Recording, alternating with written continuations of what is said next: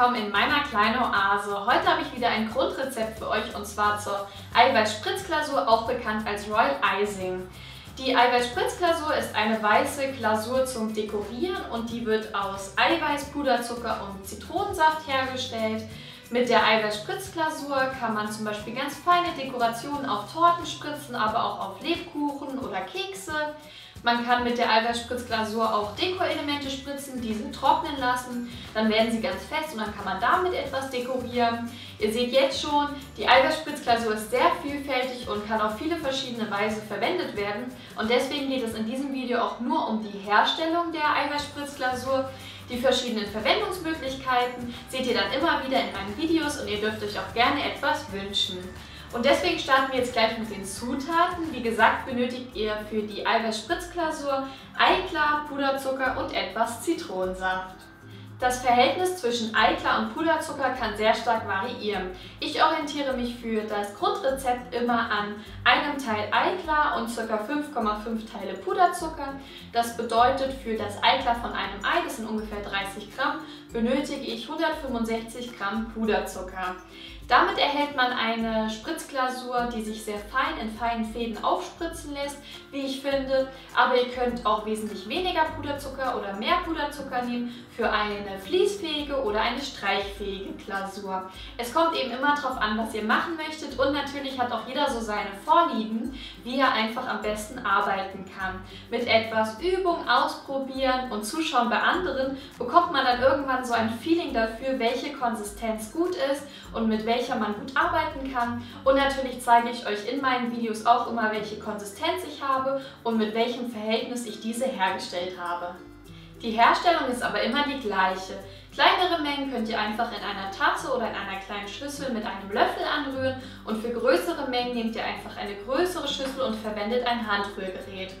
Jetzt wird einfach nur nach und nach der Puderzucker in das Ei klar gerührt und hierbei ist nur eine Sache ganz wichtig und zwar wollt ihr die Glasur nicht schaumig rühren, sondern einfach nur alles verrühren. Das heißt, wir wollen keine Luft in die Glasur einschlagen, denn die Luft könnte bewirken, dass an der Oberfläche von unserer getrockneten Spritzglasur kleine Löcher auftauchen oder dass unser Faden beim Aufspritzen reißt, weil einfach gerade ein Luftbläschen im Weg war. Und ich werde jetzt einfach erstmal den Puderzucker in das Eiklar einrühren.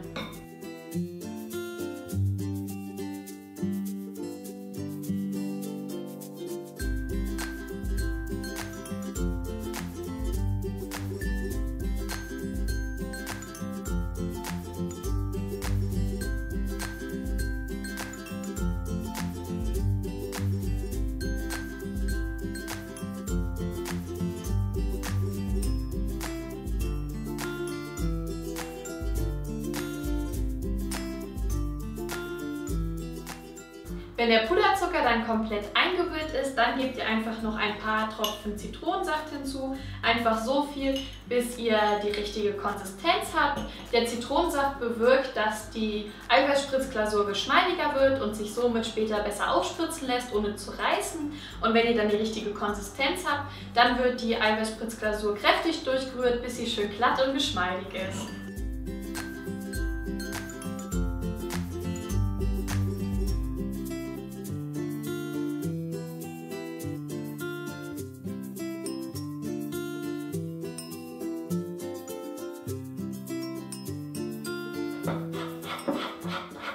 Selbstverständlich könnt ihr die Glasur auch einfärben mit Pastenfarben oder wasserlöslichen Pulverfarben. Hierbei aber immer vorsichtig einfärben, nicht dass ihr die Glasur gleich zu kräftig einfärbt, denn häufig zieht die Farbintensität auch nochmal nach und zu stark eingefärbte Glasur sieht auch unnatürlich aus. Wenn die Eiweißglasur dann fertig ist, könnt ihr sie nicht einfach in dem Gefäß so rumstehen lassen, denn dann trocknet die Oberfläche schnell an und wenn ihr dann umrührt, habt ihr später Klümpchen in eurer Glasur und könnt so nicht fein aufspritzen, da die kleine Öffnung von eurer Spritztüte dann verstopft.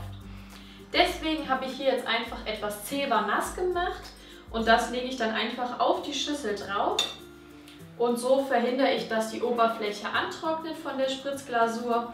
Und wenn ihr die Glasur etwas länger stehen lassen wollt oder lagern wollt, könnt ihr auch einfach etwas Frischhaltefolie nehmen und diese dann direkt auf die Oberfläche der Spritzglasur drücken und so verhindert ihr auch einen antrocknen und so bildet sich dann auch keine Kruste.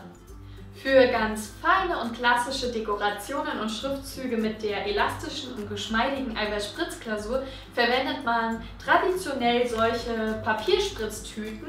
Die haben unten eine ganz kleine runde Öffnung, mit der man ganz feine Fäden aufspritzen kann. Die Herstellung einer solchen Papierspritztüte zeige ich euch einfach mal in einem extra Video und genauso auch meine Tipps und Tricks zum Garnieren mit der Eiweißspritzglasur. Für die Herstellung der Eiweißspritzglasur müsst ihr also folgendes beachten. Einmal, dass ihr Eiklar von frischen Eiern verwendet, nicht von alten Eiern. Dann das Verhältnis zwischen Eiklar und Puderzucker kann sehr stark variieren, je nachdem, was ihr herstellen möchtet. Wenn ihr aber übrigens feine Fäden aufspritzt und eure Fäden reißen, dann ist eure Spritzglasur zu fest und dann müsst ihr einfach noch etwas Eiklar einrühren. Wenn eure Garnierung aber breit läuft, dann ist eure Spritzglasur zu weich und dann müsst ihr noch etwas Puderzucker einrühren. Dann wollen wir während dem Anrühren der Eiweißspritzglasur keine Luft einrühren und wenn sie fertig ist, immer schön mit einem feuchten Tuch abdecken, damit die Oberfläche nicht antrocknet. Ihr könnt jetzt also Eiweißspritzglasur herstellen und wir werden immer mal leichtere und schwerere Dekorationen damit herstellen. Ich freue mich jetzt auf eure Kommentare und auf eure Erfahrungsberichte mit Eiweißspritzglasur und natürlich auf eure Wünsche, was wir damit denn mal anstellen sollen. Ich hoffe, euch hat das Video gefallen. Vielen Dank fürs Einschalten und bis zum nächsten Mal. Tschüss!